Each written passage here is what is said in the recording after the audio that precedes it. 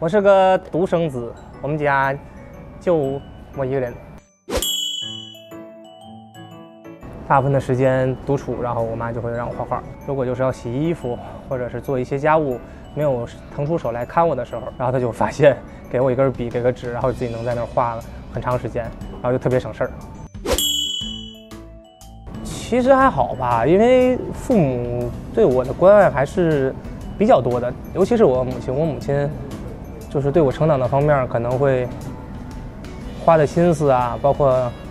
他的就是生活思考方式也都是喜欢把很多的事情提前准备好，所以小的时候就是呵护方面还好，没有说特别的孤单。其实就是来德云社说相声开始呢，肯定很多人都会说说可能家里会不会支持，包括我跟我们的师兄弟有些也会说说最起始的状态说去说学相声，肯定家里边都会有一些小小的质疑，就觉得这个和正常的他们那个年岁的人觉得不是一个很安稳的职业，或者说一个就像一个很让他们觉得很踏实的职业，所以说开始就是我母亲她就。跟其他人不太一样，她说就是只要你自己去想，你想好了，然后你去做，然后她就会全力的支持。我觉得特别的好，因为包括到现在的我的性格也好，或者我的思维方式也好，我都是很多事情喜欢自己先去把它准备好再去做。所以说我对自己的每一步的计划和人生规划，我觉得都是有一个目的性和方向性。我觉得很少在我成长阶段有